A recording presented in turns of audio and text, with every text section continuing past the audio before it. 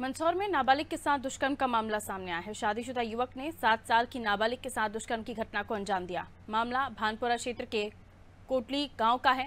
मामले में पुलिस ने आरोपी के खिलाफ शिकायत दर्ज कर ली है। फ़िलहाल आरोपी फरार है, जिसकी तलाश की जा रही है। मामला नाबालिग लड़की का है जो मेरे पास सुबह आई, चार से पाँच बजे के आसपास मैंने उसका पूरा परीक्षण किया है। कोटड़ी टैंक का ये मामला है, जो भानपुरा के अंतर्गत आता है।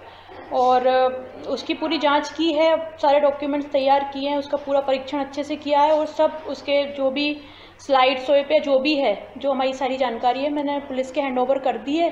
फॉरेंसिक रिपोर्ट आएगी, उसके बाद ही हम बता पाएँगे कि कैसे क्या हुआ। एक नाबालिग बच्ची थी छः साल की, लगभग। उसके साथ उसके पड़ोसी एक, व्यक्ति ने दुष्कर्म किया है, जिसके तहत सूचना मिलने पर थाने पर प्रथम पंजीबद्ध किया गया है, तीन सौ तिरसठ, तीन सौ छिहत्तर, और पासको एक तीन चार पाँच छः के अंतर्गत प्रथम पंजीबद्ध किया गया है।